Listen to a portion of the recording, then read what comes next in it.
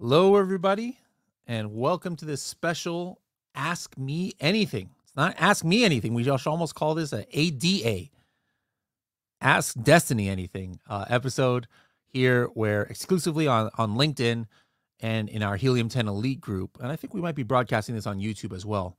But um, we wanted to to talk to sellers about what are they concerned about with PPC because there's a lot of new fees that are coming to Amazon. And so sellers are thinking about, all right, how am I going to afford increasing PPC costs? How am I going to offset some of these new fees that are coming? Well, some people are like, all right, well, you might need to buckle uh, down a little bit more on, on how you're managing your PPC. So we wanted to give a, a platform for our customers to go ahead and ask us questions on what are the best uh, strategies that we should be using when we're talking about Amazon advertising. So to do that, we have Destaney here from Better Media.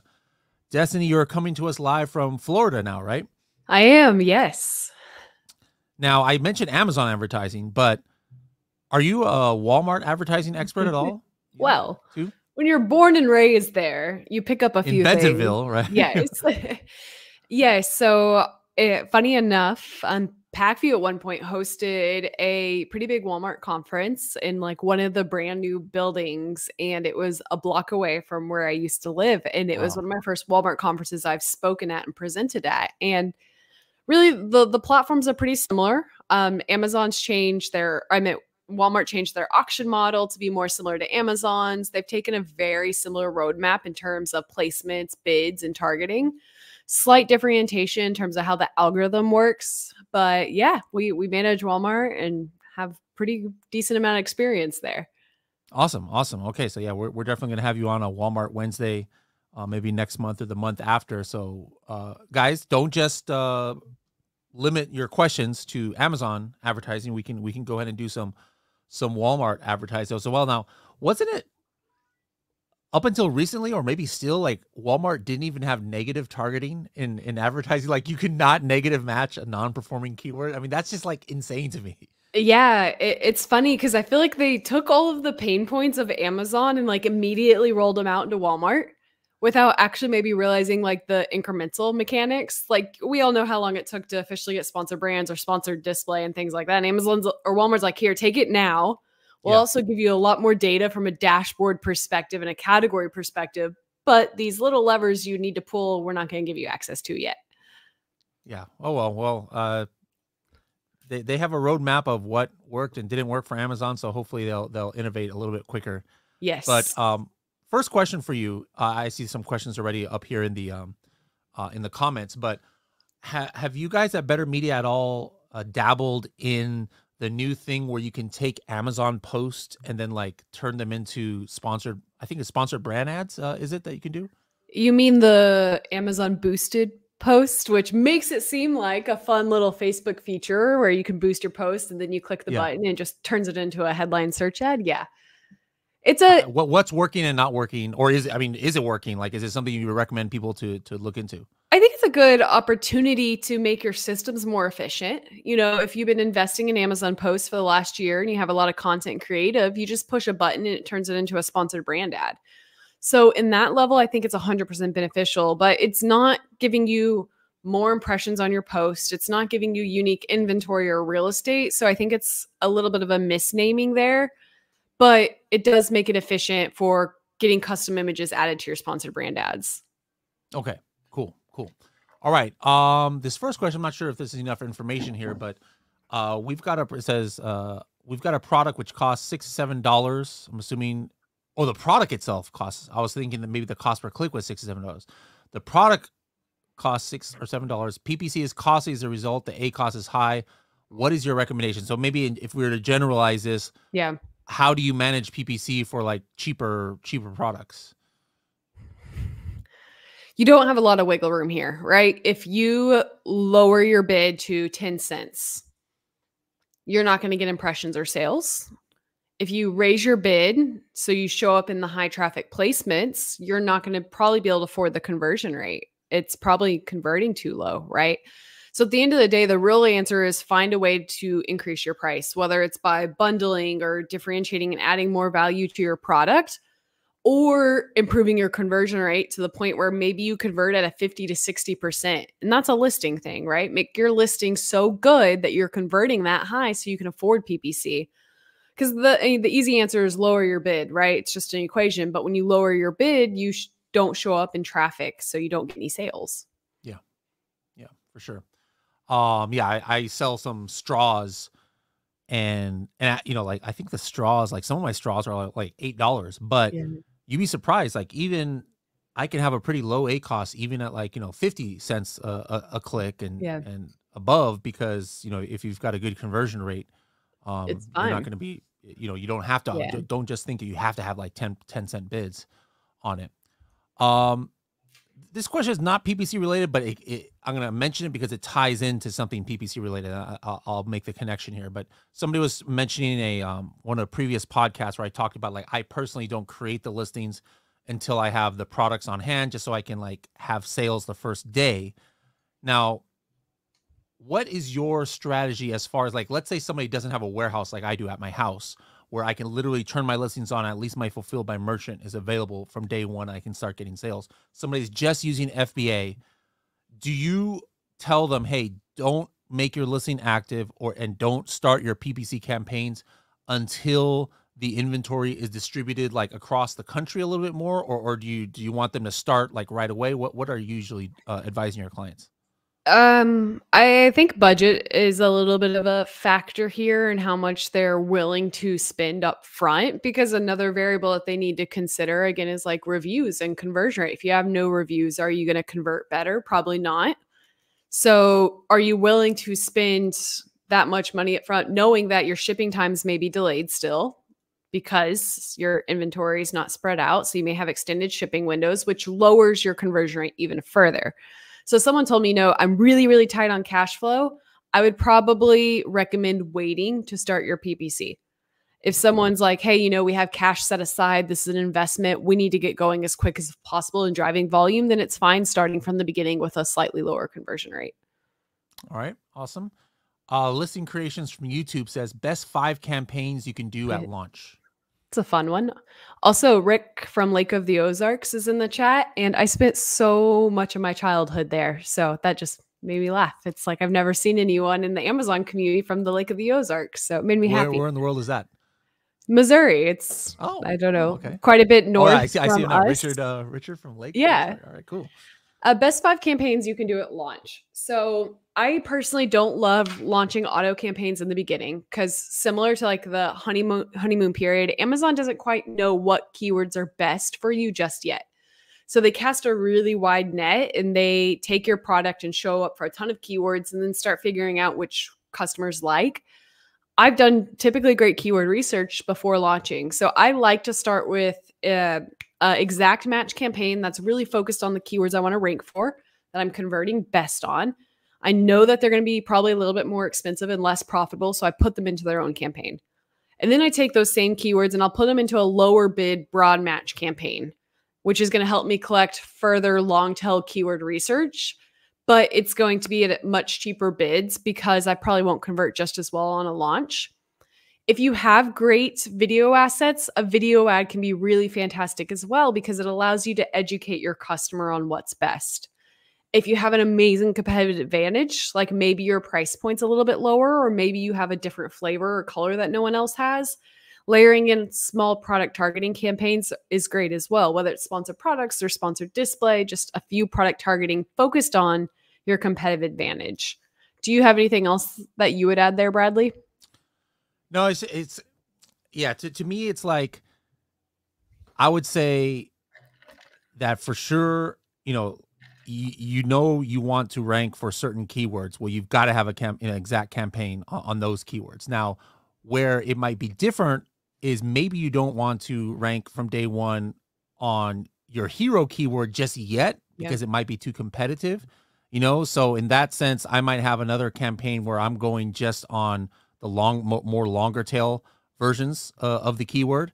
um, and then maybe bring in the, those he, uh, hero keywords a little bit later once I have a little bit more reviews. Depends on the Yeah. competitive niche. I, I've also had ones recently where I was doing a test where I didn't from day one start with five campaigns. I only was like, hey, I'm going to put all my money because I'm trying to rank for these five keywords. I just had one. I called it like a launch campaign where you know I'm I'm, I'm really going to be at the top of the search and and that's all I was doing. I wasn't doing broad and and and auto and stuff. The counterpoint to that would be, I have found you know I, it's it's probably part of like what I call the honeymoon effect, is that newer listings sometimes get more love from the broad and auto campaigns. Like like Amazon just like Yeah. throws you, and this could be a positive or negative thing. But the positive side is like you might be getting exposure on keywords that you might be harder to get on an auto or broad campaign a year down the road and so that really helps especially if you're trying to get indexed for like forbidding keywords or other brand name keywords and stuff so Yep. that that would be the the counter of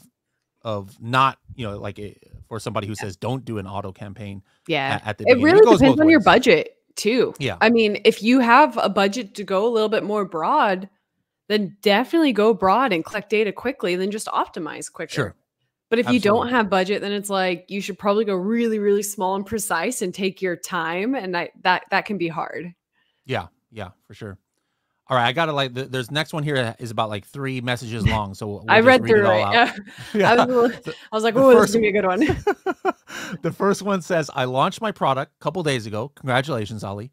Uh, I was able to add 15 to 20 keyword phrases and 30 to 40 single keywords in his listing. I launched a single keyword campaign, which is the main keyword in exact and phrase. And then he launched three other exact match campaigns, each having five keywords. These are my secondary keywords. Uh, I've, I've received 600 impressions and two clicks on my ads. Uh, Cerebro is showing 86 organic keywords and two sponsored.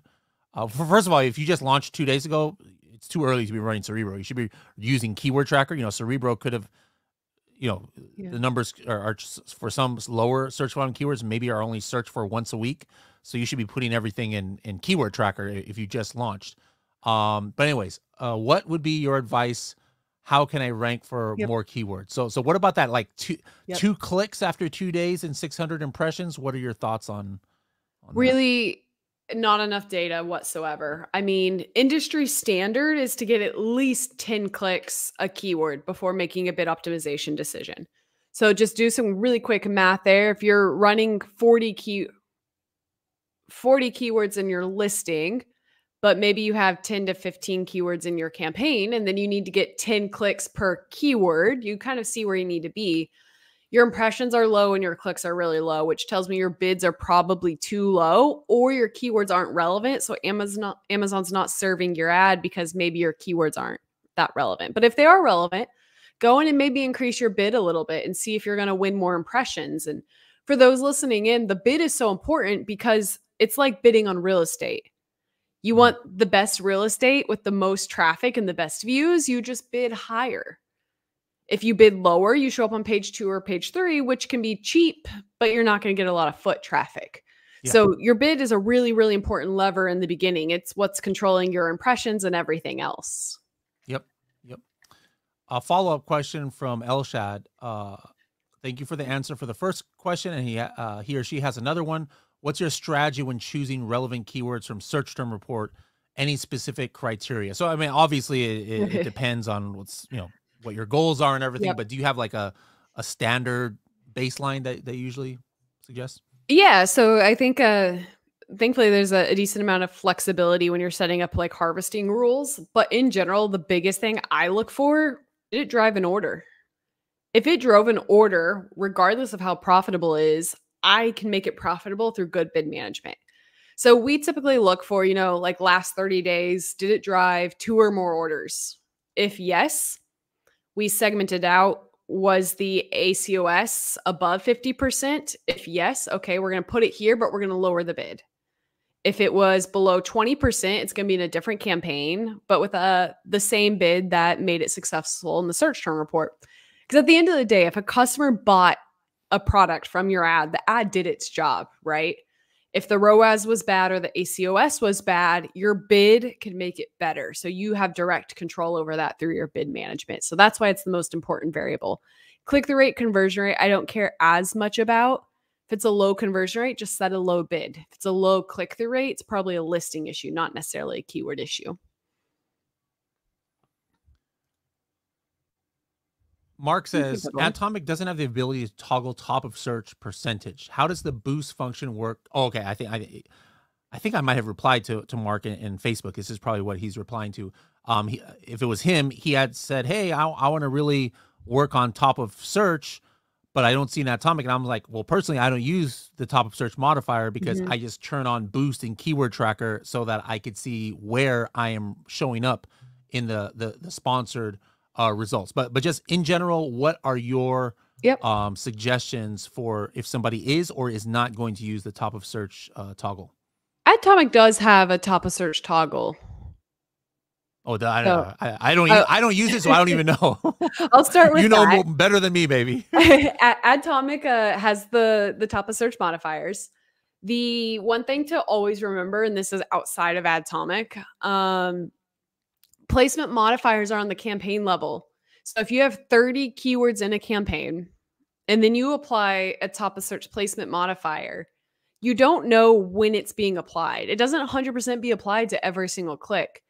So I, I, throw that out there because it can cause inconsistency in your bid management for any software, any ad console use. So just keep that in mind. We personally use top of search when we're wanting to just turn on high sales. So we typically will create separate campaigns where it's like this is a top of search campaign and we'll do a small batch of keywords, 2 to 3 keywords maybe, and then we'll put aggressive top of search modifier to help influence that. If you're wanting to just look at the placement results and then make adjustments based on that, that's that is okay, but remember it's going to mess with your bid management on the keyword level because if you put 100% top of search, that does not mean every single keyword is going to get a 100% increase. I mean, some keywords might and some might not, which is going to mess up your bid management. Yep. Listing creation says, Do you perform campaigns on test products? If so, what's your take? I mean, for me, if I ever do a yeah. test listing, it's only to be PPC. Otherwise, what what is what is the purpose of, of your test? So like I run tests where I'm not sure if a product idea is going to be good or not, or maybe I'm trying to do something new that there's not enough data. The only way that you can um, you know, validate your hypothesis is by running PPC. Otherwise, you just put up a listing that there's there's going to be yep. no traffic. Um, do, do you ever run uh like test listings to validate uh new products or anything like that? Um, Destaney. Um, not too frequently but I, I, will throw out uh, the suggested bid and figuring out how expensive your CPCs are can be a pretty important thing to do, right? I get asked all the time, how do I forecast how competitive a category is? And I'm like, well, the best way is to probably look at your suggested bids. And then the follow up question is suggested bids are always wrong. Don't listen to them. But at the end of the day, suggested bids are an average of every placement on the page. So if you're seeing your suggested bid is seven, eight dollars, that probably means it's going to be pretty competitive to be in the top of search. So I, I think it's important for those reasonings. Yep. Uh, Diksha says, I'm running campaigns in Amazon Italy for badminton shoes. Well, that's a interesting niche right there. But I'm not getting much impressions. Clicks are giving me high ACOS. I'm not getting enough data. What should I do? This is a this is a difficult one because you're not getting much impressions. How do you get more impressions? You increase your bid. But if you increase your bid, your ACOS is going to get worse. So it sounds like the best answer is you need to figure out how to improve your conversion rate or go after more long tail keywords. Maybe you're selling men's badminton shoes and you should focus on being more precise and targeting men's knowing what the international marketplace is, it probably is just a really low search volume category that's pretty dang niche it sounds like and apparel's a little bit difficult. So the the biggest thing is probably zeroing in a more precise keyword research that's going to be cheaper cpcs and higher conversion rate. What's the best thing you've implemented as a ppc agency? That's a broad question there. Uh uh, for us, I think it's investing in more creative across sponsored brands and sponsored display. But we work with a lot of brand builders. So we're focusing a lot on like the creative aspects. I think everyone kind of wants a magic trick from a bid optimization, lower taco standpoint. At the end of the day, like every software out there, right, provides similar bid methodology. So it's not like one is doing something that the other's not. So it's really being a lot more strategic with how you're segmenting your campaign so you have more control than focusing on your differentiation and building a better brand. Taylor says, is it worth creating PPC campaigns for FBM products or should you only have ads on FBA products? I think it's definitely beneficial. Uh, COVID was a really good catalyst for this. Everyone was switching back and forth really quickly. Uh, the one thing I will say is we don't actually recommend putting um, both your FBA and FBM SKU or ASIN in a campaign. We recommend separating them out because typically your FBA has a quicker shipping time. So your conversion rate's almost always higher than your FBM. So if you put them together and then switch back and forth, the moment you go from FBA to FBM, your conversion rate is going to drop and you're going to have to lower all of your bids and it's going to mess with the historical performance of your campaign. But if you create FBM campaigns, you can lower your bids knowing your conversion rate is probably going to be lower and still see the same ACOS that you would with mm, your other campaigns. Good point. Good point.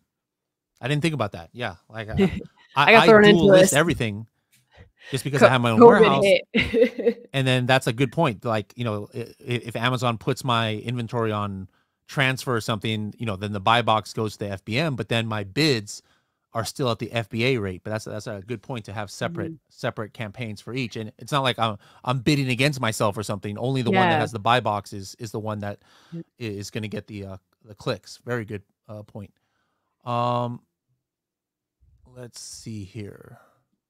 The lone wolf says, "I'm not tech savvy enough to know how to really analyze my PPC." I, th- I think this is why yeah. PPC is such a beast to, to, people new to to it. You know, on Amazon, it's like, um, you know, the, the thing that everybody wants to outsource from day one. I've always said I think you should outsource to agencies and things like that when you you're at the level where you just you know don't have the bandwidth, yeah. but you got to know how to do it yourself first. But people are like, "Oh my goodness, where do I even start?" Yeah to learn. So like for newer sellers who have never done something like pay per click before, how should they start to tackle what's some just basics, I guess you could tell them? Yeah.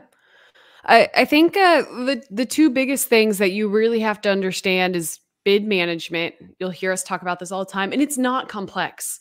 You know, I know there's a lot of different people in the space saying like there's a magic solution or we have an AI algorithm for bidding or this or this or this, but no, it's it's not that at the end of the day again it's it's that real estate model. You have a high bid you're showing up at the top of the page. If you cannot afford that placement you lower your bid you lower traffic but you have a better acos roas and it takes a lot of testing to to figure that out. I mean i think it took me like three years two and a half years of managing before bid management clicked and i could do it intuitively by hand. Um there is a ton of content online. I've put together some really simple videos on like how I learned bid management when I was starting. Uh, Amazon has a great accreditation course I'm going to throw out here. It's not very technical, but it's very high level, which helps you kind of understand the principles of bid management. And this is also why I would say like software is important. Not everyone's a math person, right? Not everyone's going to be able to build the analytics to do this. But when you have a super simple software that's just applying bid management for you, you can then focus on maybe keyword targeting and creative and some of the things that maybe you're best at.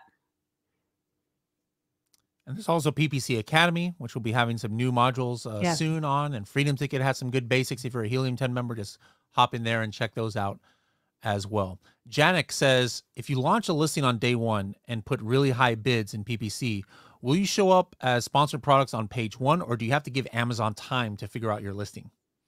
It typically takes some time. We I wouldn't recommend this. We've tested this on our own, like from an agent agency perspective with some of our larger brands. Sometimes we'll set like a $49 bid on one exact match keyword just to force it to the top of the page. And then when it gets clicks pretty quickly, Amazon realizes it's relevant because customers are clicking when they see it. and then I can lower my bid back down and I will get more impressions and traffic. Because again, it's an algorithm, right? Amazon needs data to make a decision. So once they see people are clicking and they like that ad, you'll get more relevancy. Um, but it's sometimes dependent on the category. Like in supplements, we've seen that a brand new launch can take four to five days before we are really getting the maximum amount of impressions. So we do. We like to start with high bids to collect data quick and then optimize back down. But again, if you can't afford that in the beginning, just take your time and maybe be a little bit more profitable and start with lower bids. And then once you slowly start gaining the clicks and the traffic, then you can scale up.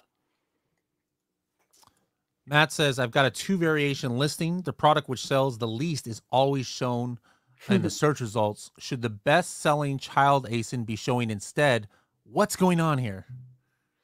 Um, I think there's a few different variables, and Bradley, I'd be interested to hear your thoughts, but I think it's probably looking at click through rate. What is driving the highest click through rate? Um, that can be a, a reason. Amazon wants to show the product that's getting the most clicks, knowing that you're bringing them into the listing, even if they purchase another product. That's one of the variables. Do you have any insight into this? Yeah, there, there's a couple things here. First of all, Amazon is not perfect.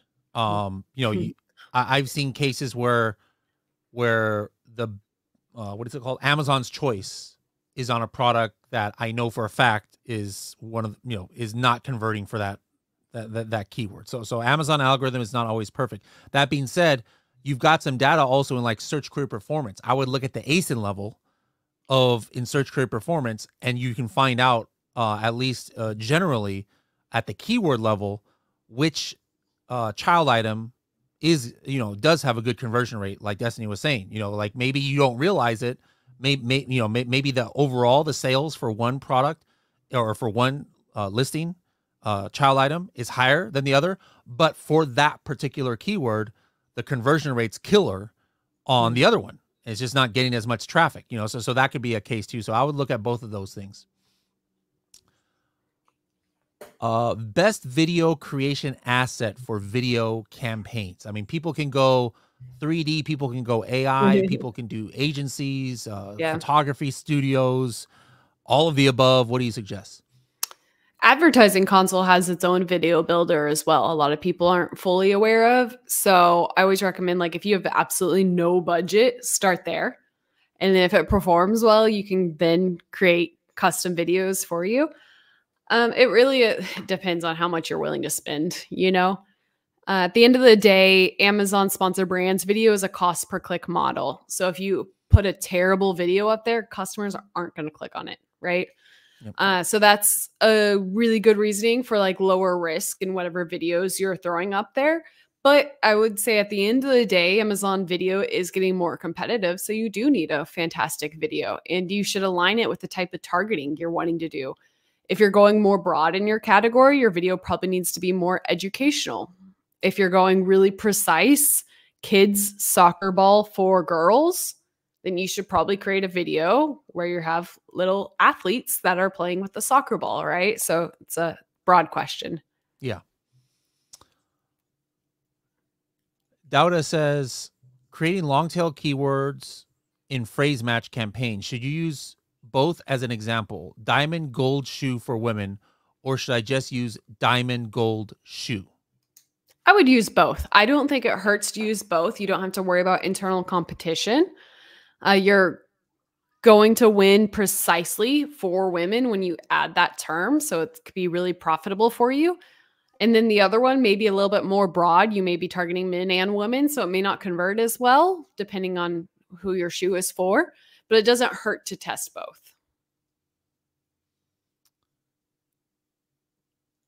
Trab says hello again from Berlin. After being indexed for a keyword, changing the listing affects the index keywords. Is it resetting the index one? So I would have to put them again into the listing. So, uh, in my experience, th this can go both ways. You know, first of all, I, what I always tell people is if you have a really good performing keyword, like it's an important keyword for you, and you're ranking high organically, and maybe that keyword is in phrase form in your title, don't mess with that. don't you know? Don't touch that. You know, if, if you need to change some of your title, like change other words, but don't mess what's working uh, for you. Now, where about when we're talking about indexing, you know, like you technically can be indexed for keywords that you don't even have in your listing. And actually that's through PPC usually. Like like, you know, maybe you do a broad campaign uh, or an auto campaign and Amazon can show you for whatever you want or whatever yeah. they want, even though you don't even have that keyword in your listing. And then what happens when you get a conversion for that? Then a lot of times, yes, you're indexed and now you can do a manual campaign against that keyword. But um, yeah, in, in general, my philosophy is if you have a good performing keyword uh, and it's in phrase form in your listing, don't don't yeah. don't mess with it. You know, don't don't take that that chance. Uh, any, any kind of like indexing tips you can you can give us that have to do with PPC at all? I think it, it's just going back to the basics and not overthinking it, right? On our end, we look for what are we converting best on? I think, you know, one of the favorite questions in the Helium 10 group is always along the lines of how can I tell what keywords I'm driving sales for organically, right? And on the Amazon advertising side, we can see that through a search term report.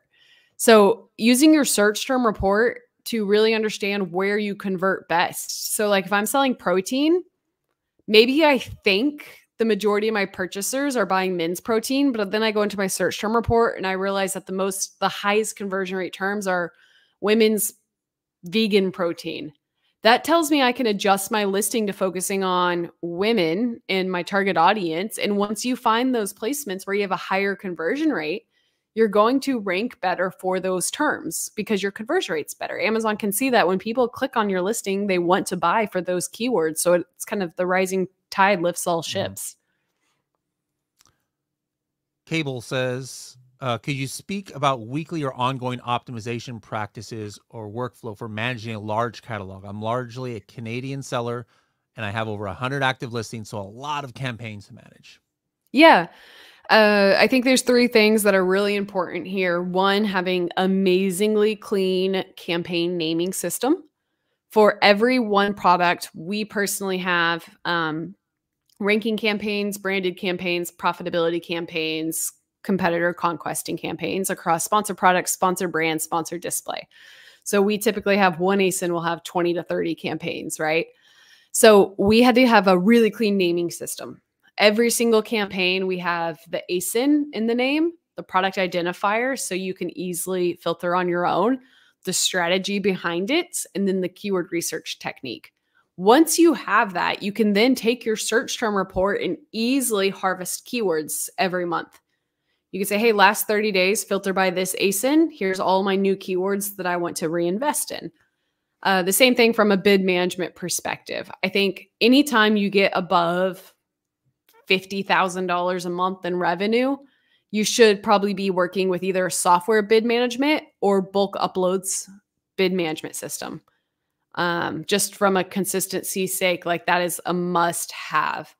And then the keyword research harvesting side, like I said, if you have clean naming, you could either rely on a software for that or just use bulk uploads and macros to help build out a good harvesting system. But your structure and organization is going to be the most important part.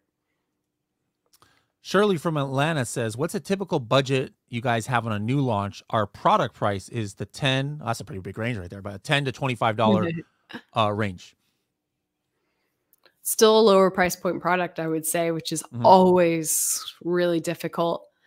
Uh, we've seen budgets from $10,000 a month on PPC to $500 a month. It, you know, I, I don't love this question because it's dependent on your category. It, you could be in supplements and need over a hundred grand for a really successful launch, but it's not necessary.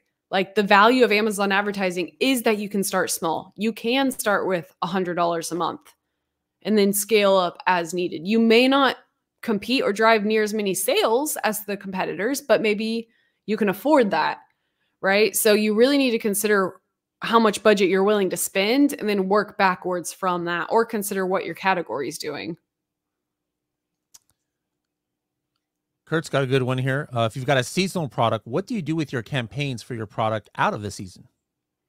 Well, this is the value of a pay per click model. If you sell snowmen and it's the middle of summer, people probably aren't clicking on your ads. So, the nature of Amazon advertising does typically reflect seasonality. The biggest thing you need to consider is your conversion rate decreasing. So if your conversion rate decreases, you probably need to lower your bids during your off season. If your conversion rate is increasing as you're leading into your in season, then you go ahead and increase your bids to reflect that. This is something that I would say softwares aren't fantastic at. Softwares typically only look at last 30 days of performance.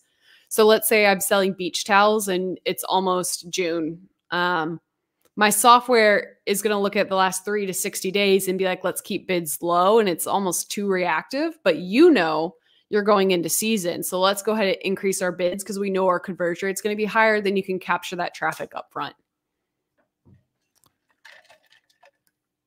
Unbeatable Game says, Are impressions always visible on your screen or can they appear off screen and still be counted? Always visible on screen. Um, the attribution models are a little bit different. Like a view CPM campaign is just a one second view, I believe. And I think there's differences across all of them, but they're on screen.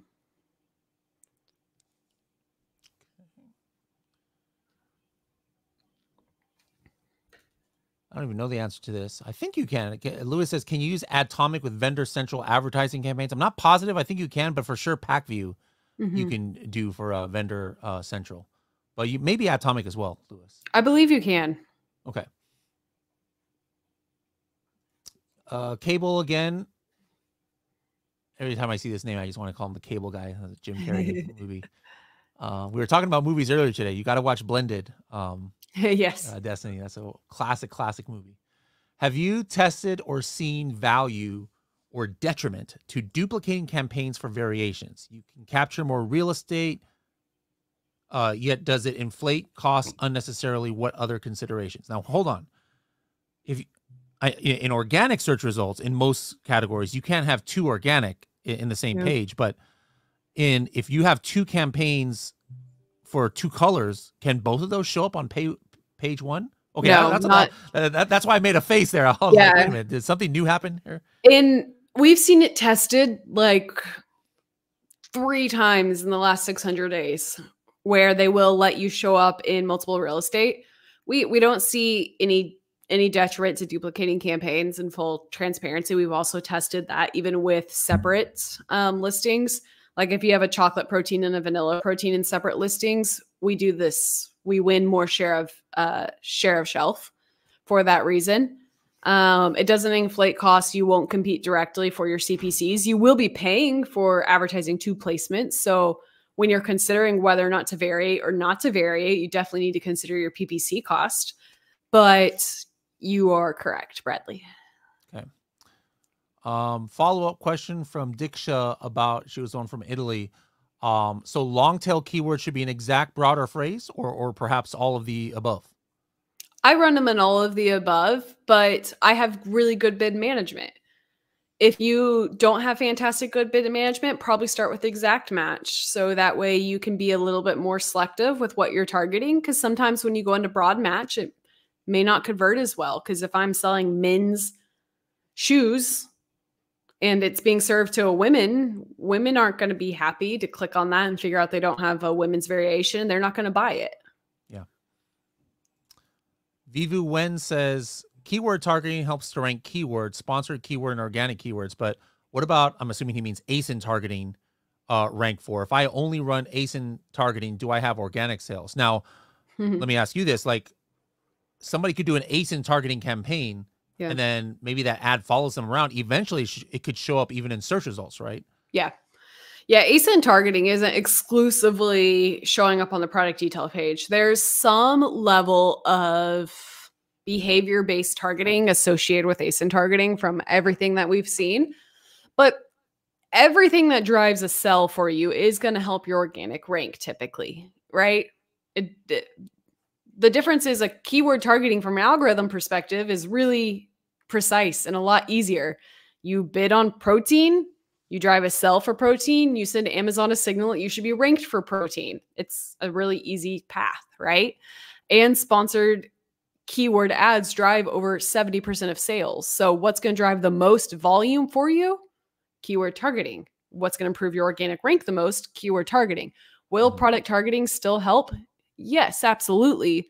But it may not give you as much ranking juice as what keyword targeting would. Uh, Martin says we're selling ink cartridges with our own brands in Germany. Very competitive. We've got great reviews. Uh, we were always on top. Now Chinese sellers are pushing us out with better PPC. How can we get back on top? What campaigns and what would you recommend? I'm gonna take a take a risk here and say that they're not potentially running better PPC than you. They're probably just willing to accept a much lower margin. Truly, like uh, it's typically more philosophical. One, you know, from a manufacturing cost perspective, they can probably wiggle a little bit cheaper than what you can. So maybe they have inherent higher margins. But what we see in this situation typically is there's like this level of economies of scale. I think Chinese sellers would rather sell 10,000 units and only make a dollar in every unit versus smaller sellers that are maybe not smaller sellers, that's not the appropriate term, but sellers who have been on the platform for a while typically would rather say are focused on just only margin up front. So they're like overly focused on profit and that profit decreases when your total revenue goes down and ends up hurting you. So I, would say like the biggest thing is to be more competitive, show up on more top of search campaigns, improve your conversion rate. That's usually a big value add, I think, for um, brands is you can optimize your listing a little bit better and maybe better for your audience.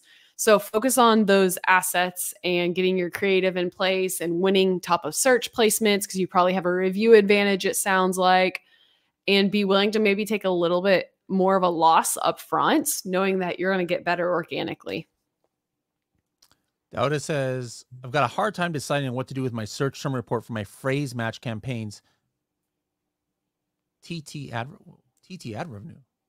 TikTok? What? T- ad revenue is 12,000 per month.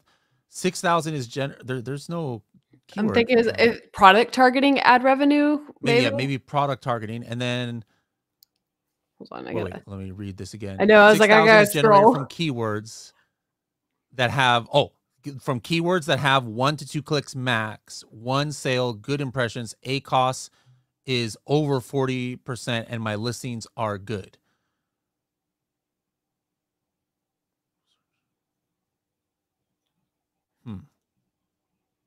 The Uh, biggest thing I can recommend is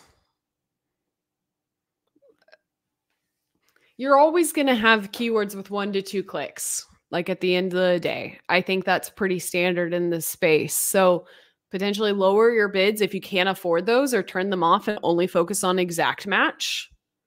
Or realize that those one to two sales end up adding up over time since Yeah. you're saying that your ACOS is over 40%, like I would maybe just lower your bids, but you don't really have enough data to make that decision. We let them run in the majority of our campaigns. If I'm only solely focused on profitability, maybe you pause and only switch to exact match so you can have more control.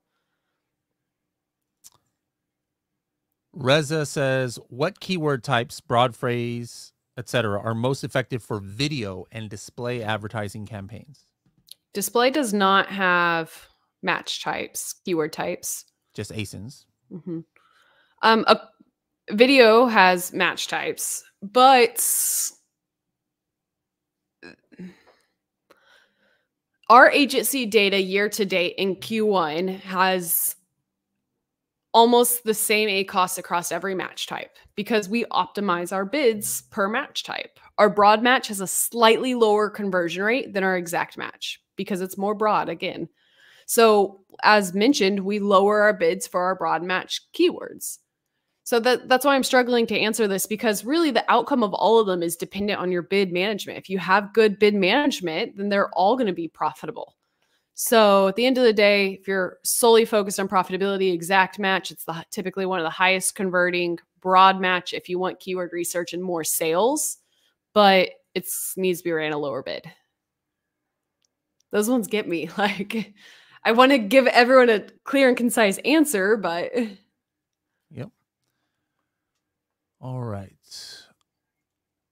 Moreshi says product is socks, which is Yep. competitive, high cost per click. I'm struggling between ranking versus keeping the ACOS low and product profitable. oh, great question. I don't mind investing initially. Long term payoff is what I'm looking for. Suggestions. create campaigns for both like this is one of the biggest recommendations I have in this situation. You create one campaign for ranking with high CPCs. You create the exact same campaign and the same keywords for profitability and a low ACOS. And if I'm bidding on socks with a $10 bid and socks for a $2 bid, they're not both winning. Your $10 bid typically wins until you run out of budget, and then your other campaign will kick in. And what this allows you to do is move your budget how you need to. If one week you can spend more on ranking, spend more on ranking. If one week you need to be more profitable, you move your budget to your profitability focused campaigns. This helps you see the difference in performance for both of them, right? You can control your ACOS here and you can increase your budget as needed while still investing in your ranking campaign, regardless of how much budget you have. Okay. Excellent. Vivu says, "Hey Bradley, hope to see you soon in Hanoi. I was literally just in Ho Chi Minh last week. Didn't get to do any meet. Have you been to Vietnam yet, uh, Destaney? I have not. Oh, amazing, amazing. So, so, it's, it's tough to get a visa, but but it, it's it's it's a so everything is so inexpensive and really great services over there. And now I love Vietnam so much. I bought a Vietnamese car in California. I drive a VinFast VF8. Uh, I now. love that.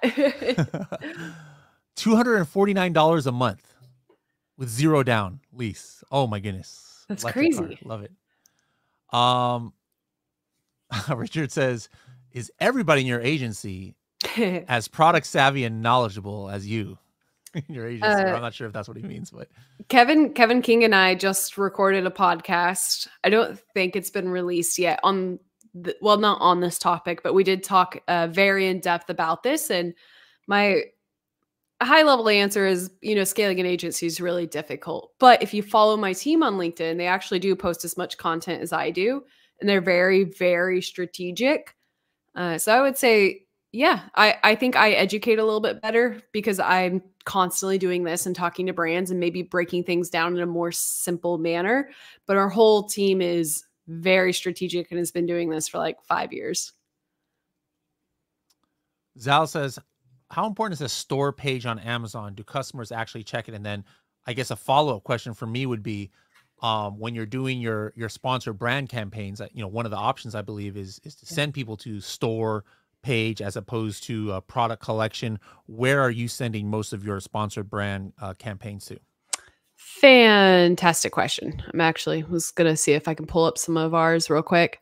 Uh, in general, it's not a ton of traffic, but there definitely is traffic, especially for larger brands, right? Who have a brand presence. Maybe they're in a retail store or something like that. They're going to get a lot of traffic.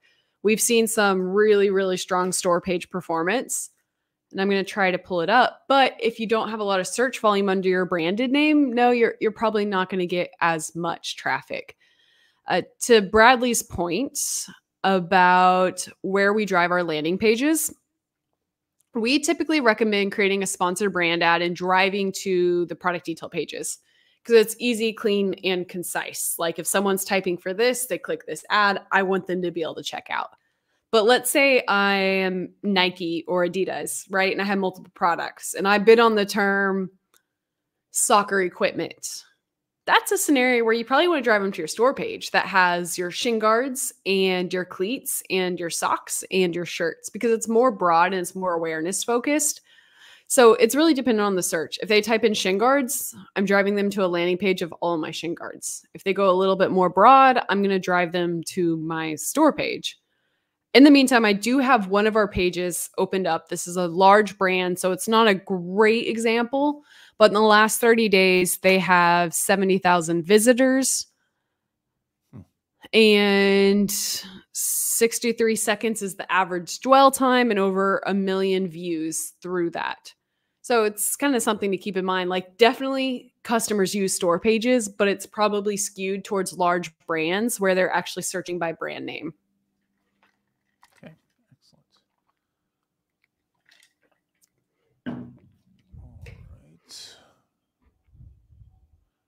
Janek says if you're targeting only three exact keywords with high bids for a new listing, will being FBM deter the ranking from still showing it? If you're asking if it's just the fact that it's FBM, not per se, like if you're being penalized for having FBM. No, I mean that's the kind of thing that the FTC would definitely jump on, you know, of, of what they're investigating Amazon for. But it was what Destaney was talking about earlier. Uh, you're if if you have a category where everybody's FBM, like sofas or something like that, or refrigerators, well, you know, everybody's in the same boat. But maybe you're in a category where everybody's selling these water bottles and you're the only FBM seller and everybody else is FBA. You're not going to get a good click through rate. You're not going to get a good conversion rate because people are going to see, oh, shipping time four days or five days or, or something like that. And, and everybody else, same day delivery or next day delivery, they'll have a better uh, rate, uh, you know, conversion rate. And um, that means that they'll yep. rank, you know, uh, better than you. Um, anything to add uh, to that? No, your your context provided though was super super valuable here. it's super easy to like correlate things, especially as a brand owner when you don't see multiple categories. But then you you kind of have to zoom out, like Bradley said, and you know it's more of a conversion rate issue than anything else. Diksha says, "How much does A plus content help uh, in PPC or the algorithm. There is no A10 algorithm, just A9 algorithm. How much focus should a listing give to A plus from PPC? So is there any correlation at all other than just the fact that it might help conversion rate a little bit more when they get on the page? But I, have you seen any other uh, correlation? I think conversion rate is the biggest piece here. Mm-hmm. Like you need to stand out. And if you just think about the path a customer takes, almost all customers scroll down to look at a review. And during that scroll time is where you have a lot of opportunity to showcase why your product is better than everyone else's. And the better that product converts, the better your Amazon advertising is going to perform. Okay. You got about a couple minutes, uh, a couple minutes left here. How do we get more external clicks for Amazon listings? We heard that this also drives organic listings. Some Amazon cam- campaigns also try external traffic. So are are you do you think people should be, you know, doing Google ads, Facebook ads to get that external traffic, TikTok ads or what? I think all of them are super powerful. Um, at the end of the day, Amazon can only fit so many more sponsored placements in the search results. So they're like, how do we capture more traffic, right? And it's by incentivizing people taking external providers and sending that traffic to Amazon. So external traffic is definitely important. You have Amazon attribution, which is going to help you somewhat track that traffic. At the end of the day, conversion rate is still an important lever, though. Uh, for example, if I sell if I sell hand lotion and I'm paying for a Google ad on hand lotion, and they go to Amazon, but they weren't necessarily wanting to buy. Maybe they were wanting to watch a video on why my hand lotion was better, and that conversion rate's low. It's probably not going to improve your organic rank. So it there's a million different variables to this question. This could be its own webinar. We do recommend driving external traffic and building a brand off platform. You can use Amazon DSP, you can use TikTok or Google, but as with everything, make sure that traffic's converting. All right, one question for you from me is um, something I have, even though I've been using Adtomic for years, um, I haven't started doing the schedules or the day parting yet. Yeah. So just in general, you know, like whether somebody's using Adtomic or another software that um, allows you to do day parting. First of all, what are what kind of metrics are you looking at? Like, are you looking at days of the week, uh, mm-hmm. times of day, and then what are you looking at in whatever you yeah. uh, answer that question with uh, to actually kind of uh, you know base what you're doing off of? Like, are you yeah. like actually turning off ads or just lowering bids if, if there's a high ACOS time of day or something? This um, is one of my favorite topics. Kurt also has a great question around helium 10 that I want to get to after this one. But uh, overall, if anyone's followed me for a while, they probably have heard my spiel on day parting. And I'm going to start with that. And then I'm going to go into kind of the specifics here historically i was always really against day parting because there's a hundred different data points and insights that say when a customer clicks on an ad they don't typically buy a product immediately. So why that's important to understand is because maybe your sales look terrible sunday at midnight. Maybe you have a ton of clicks but no sales.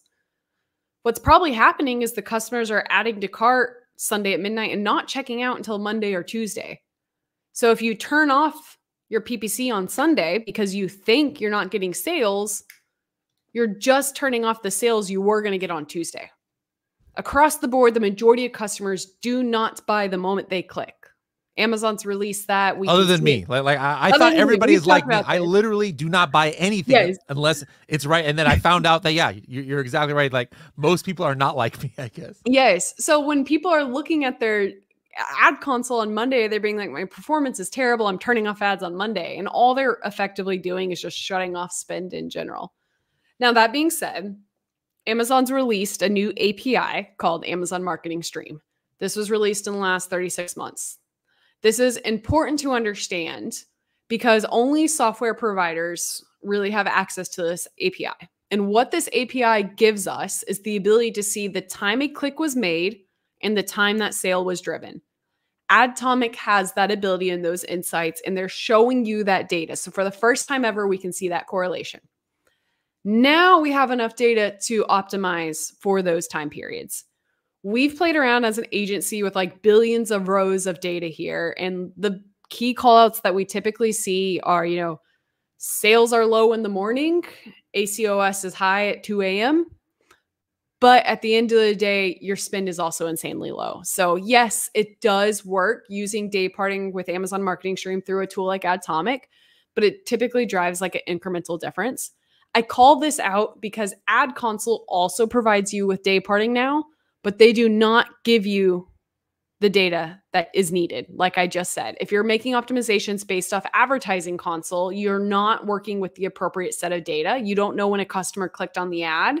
You only know when the sale was portrayed in ad console. So you're missing out on a huge portion of data. If I were to effectively run day parting, though, to your point, what I would do is focus on bid management and not turning off campaigns for this exact reason. Okay, cool. Mm. Which question were you talking about? Kurt said, Will Helium 10 come out with a tool to avoid cannibalization for sponsored and high ranked organic search terms? Um, Pacvue offers this. And that's the reason I was going to shout it out. Helium 10 gives you the insight to be able to optimize with this. The problem with building a tool for it is it's really dependent on your personal needs. For example, if you're not ranked number one, then I don't necessarily think you should completely turn off ads because if you're two, three, or four, it's very often that you're in the bottom carousel. If you're five through eight, you're definitely not ranked high enough to completely turn off ads, right? So there's a little bit of flexibility that I don't think is needed within Helium 10 in this regards. I do know Pacvue already has this tool from a cannibalization perspective. The other answer here is to push your other products that are already top of search. So, it, I mean, it's really not insanely difficult to build yourself since Helium 10 already gives you the data of where you're ranked organically and you can see everything tied within Adtomic. Adtomic, it's pretty easy to build out your own internal SOPs with that.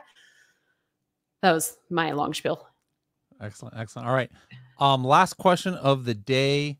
Ooh, a quick great. one here. Oh, I can hop into Best the last tips. one. Wait, no, hop into the last one.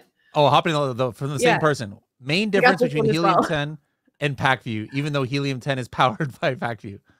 I uh, when we say powered by Pacvue, I think it's really more so the development teams in the back end. It's the speed of improvements, it's the technical capabilities. At the end of the day, there are two very different tools. Uh, Pacvue is for the user, in my opinion, that is a power user that is going to be solely using Pacvue every single day.